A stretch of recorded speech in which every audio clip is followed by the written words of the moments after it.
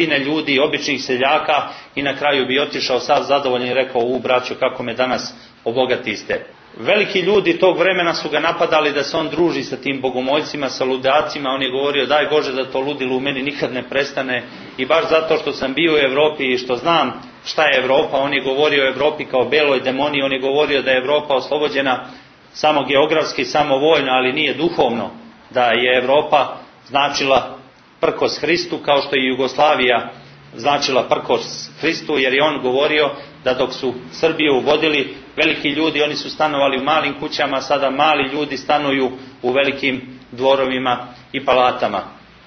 Odlazak u Ohrid za njega će biti nešto mnogo značajno jer će od tada Nikolaj početi da se druži sa običnim narodom zanatliji iz Ohrida bi prekidali posao prilazili bi vladičinoj ruci i kakav je to čovjek bio, svjedoči i to da njemu nije bilo muka kao vladici, kao episkopu Ohridskom da ode na pijacu da kupi prase i da od priploda sljedeće godine šalje drugoj sirotinji, trećoj sirotinji, takav je bio, nije, ljudi, nije dijelio ljude prema vjeri, bilo je tu jevreja i muslimana, njegovo srce je kucalo za sve, pa mi teško padaju kao svešteniku i kao čovjeku i kao nekog koje je ponikao u njegovom duhovnom rukosadu učeći se kroz njegove knjige kada kažu da je vladika Nikolaj mrzio jevreje, to je najgnusnija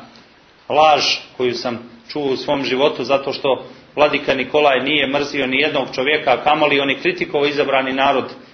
Boži jevrejski narod, on je kritikovao i srpski narod zato što je duboko volio i jedan i drugi narod,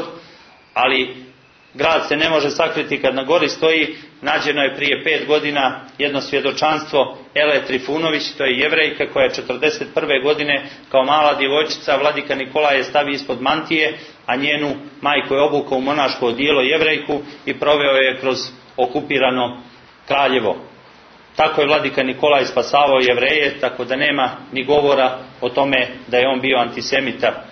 Svjedočanstvo o njemu nalazimo u romanu Monah Kalist, koji također, eto, preporučujem svima vama, jer će vidjeti u njemu kakav je bio vladika Nikolaj izbliza kroz svjedočanstvo monaha Kalista. Jednom prilikom je jedan predsjednik opštine u Strugi tražio blagoslov vladike Nikolaja da ide za Albaniju. Vladika Nikolaj nije dao svoj blagoslov.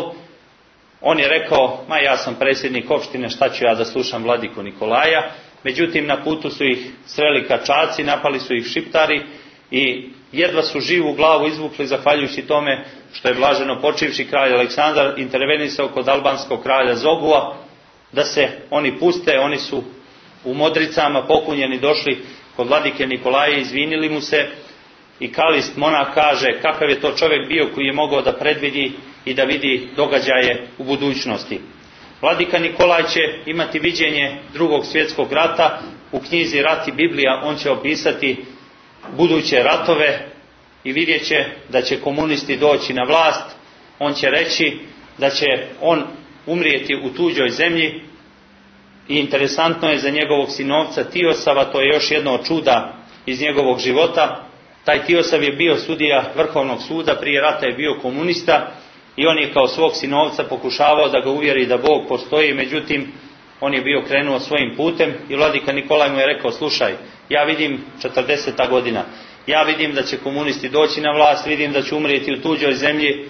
doći će vrijeme kada će moje kosti doći u Lelić, ali me ti tada nećeš dočekati. Naravno, ovaj Tiosav je posle rata se pokajao, on je mnogo zaslužan za povratak Nikolajevih moštiju iz Amerike i 11. maja kada su Nikolajeve mošti trebale 12. ujutro da stignu u Lelić, Tiostav je rekao, e, reče deda Vladika da će doći komunisti na vlast, da će umrijeti u tuđoj zemlji, da će mu kosti doći u Lelić, sve reče i pogodi, ali ne pogodi da ga ja neću dočekati. Ovo mi je lično pričao preosvećeni vladika Šabački Lavrentije. Uveče smo se, kaže, razišli oko ponoći, ujutro sam došao oko šest sati ujutro, gdje je Tiosav umro. Kako umro, sinoć smo se rastali Eto, kaže, stigla ga je riječ svoga svetog strica, a možda ga i sveti stric, vladika Nikolaj, pozvao da na nebu služe nebesku liturgiju. Kakav je to bio čudotvorac, svjedoči jedna engleskinja koja je imala bolesnog sina Stuarta i ona je iz Londona došla u mali Ohrid za to vrijeme mali i nepoznati Ohrid i došao da mu vladika Nikolaj čita molitvu. Vladika Nikolaj je rekao svima u crkvi kleknite, pomolimo se za našeg brata Stuarta i on se izliječio teške neizlječive bolesti.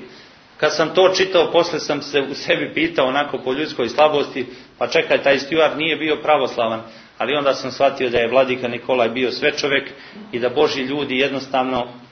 ne propovijedam ekumenizam daleko od toga, ali jednostavno za Božje ljude ne postoje vjere i nacije, postoji samo Bogočovjek Isus Hristos za njega nisu postojali prirodni zakoni, već su postojali samo Božji zakoni i ljudski zakoni. U okvidu će on obnoviti mnoge crkve i manastire i jednom prilikom će on primijetiti da u okvidu narod slabije dolazi u crkvu. On će skinuti svoju kamilavku i pojahat će konje naopačke i sa razbarušenom kosom ići će kroz okrit. Svi ljudi su gledali i tumačili u sebi Nikolaj mnogo čita, vjerovatno čitao, čitao i poludio. Sjutri dan je bila puna crkva i svi su čekali da se Nikolaj obrati i rekao šta je narode, vi mislite da je Nikolaj poludio, nisam ja to uradio zbog sebe, nego zbog vas, nema vas u crkvi. Tako narod je shvatio njegovu divnu pouku. Divan je vladika Nikolaj ne samo kao književnik, ne samo kao besjednik, već je i kao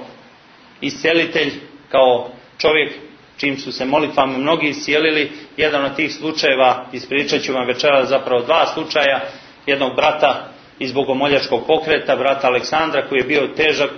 teške tuberkuloze bolestan i imao je četvoro djece, već su ga ljekari bili otpisali, međutim on je čuo za bogomoljački pokret, došao je kod vladike Nikolaja i vladika Nikolaj mu je čitao molitvu i kaže posle pola sata njegove molitve osjetio se toliko lak kao da lebdi svoje ženi zlati, predložio je da oboje odu u manastir i oni su saglasno svoje djece otišli u manastir. Drugi slučaj je doktora Radoja Arsovića, doktora sa Sorbone, koji je negdje prolazeći kroz Vrnjačku banju sreo seljake koji govore o Bogu. I pitao je li